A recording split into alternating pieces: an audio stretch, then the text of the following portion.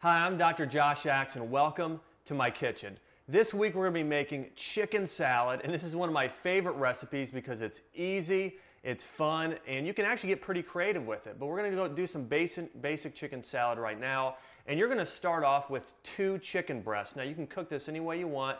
You can boil it, you can fry it up in a skillet, or you can actually even put it on the grill. What we did though is we actually went ahead and just boiled it.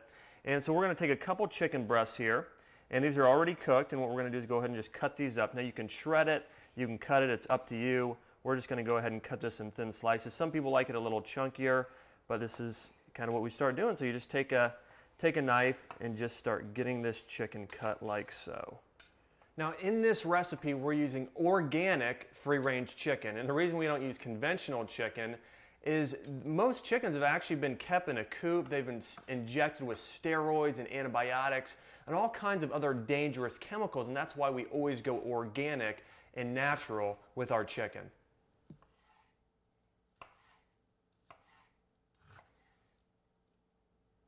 Now we're going to go ahead and just take the chicken and put it in a bowl here, like so. And then we're going to go ahead and start slicing up some celery. And celery is great because it's full of electrolytes. A lot of people don't know that, so it's actually good to eat after, after you're done working out. It's good for actually for recovery. And you're just going to cut these in thin slices like so. But it's full of good sodium, full of potassium, magnesium, and a lot of the other good trace minerals and electrolytes. And you're going to be using about two to three cups of celery depending really just kind of depending on your preference and that's the great thing about chicken salad is you can fancy it up. I know myself you know today we're using grapes and walnuts and celery but you can throw in blueberries and apples and, and sliced almonds and kind of anything you want in this. But again we'll take about two to three cups here of, of the celery. We already have a little bit cut up so we're just going to kind of add that to it and mix this in the bowl here with the chicken.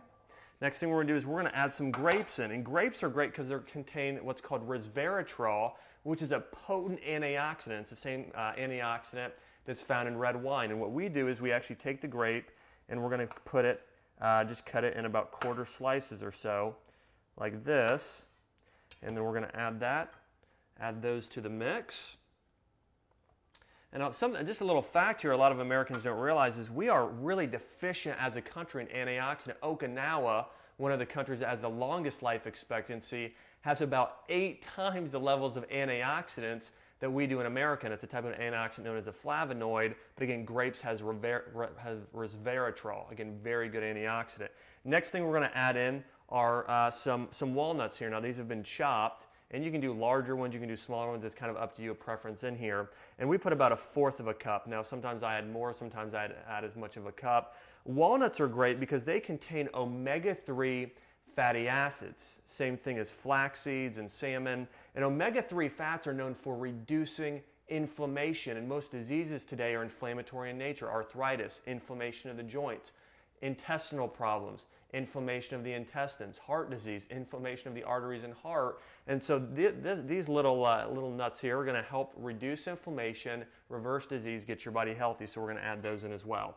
La last few things here, actually we're going to add in some lemon juice. We're just going to take a fresh lemon here, cut that in half, and you're going to do about two, two tablespoons or two teaspoons or so of lemon juice. I usually just take about half a lemon though. You'll take a half a lemon and just go ahead and squeeze, squeeze that over here. Okay, like so.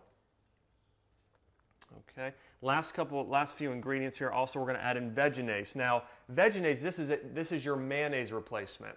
And mayonnaise is actually loaded with hydrogenated oils if you go and get the regular conventional mayonnaise. What we're, what we're adding in is Vegenaise with grapeseed oil. And grapeseed oil is one of the best oils to cook with because it doesn't oxidize under heat and it's a good monounsaturated fatty acid. It's very similar to olive oil. But again, you can pick this up at Whole Foods, almost any natural health food store, even a lot of uh, even just regular grocery stores now are carrying this Vegenaise. And we're going to add in about two thirds of a cup. And we've got a third of a cup here, so we're going to do a couple of these. We're going to go ahead and add this in, like so. It's about two thirds, or one third a cup there. We're going to add in a couple more. And again, we're getting some good healthy fat here in the Vegenaise, those omega-9 fatty acids known as monounsaturated fatty acids. Last few things here, we're going to add in just a little bit of black pepper. It's kind of up to you how much you want to add in. And then we're going to add in sea salt. Okay, we're going to add in about a one to two teaspoons of sea salt. I'm just going to grind it over here. And this is kind of the taste. I like quite a bit of sea salt in here. And sea salt's great because it's full of trace minerals and electrolytes. Specifically, it's got quite a bit of magnesium and potassium in it. And this is way, way better than your conventional salt that's actually going to cause heart disease and other health issues. And what we're going to do now is we're going to go ahead and take the chicken salad and we're going to start mixing it up.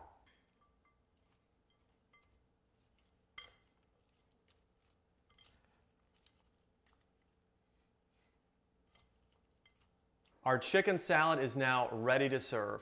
Just remember a few things. Number one, you can be creative when you're cooking. If you don't like celery, hey, take the celery out, add something else back in.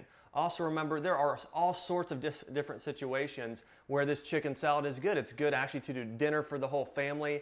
It's good to bring on a picnic. It's also great for the kids. You know, if your kids are, you know, they're used to eating all the junk at school, you can actually throw it on some Ezekiel bread, make it into a lettuce wrap, send it to school with them or to your husband at work, whatever you want to do. Again, great options here with the chicken salad. Also, remember, this is very nutritious. It's loaded with all natural ingredients you can pick up at any store and even health food store. And this is going to bring health to your body, help transform your health and life. So try the chicken salad. Let me know how you like it. I'll see you next week.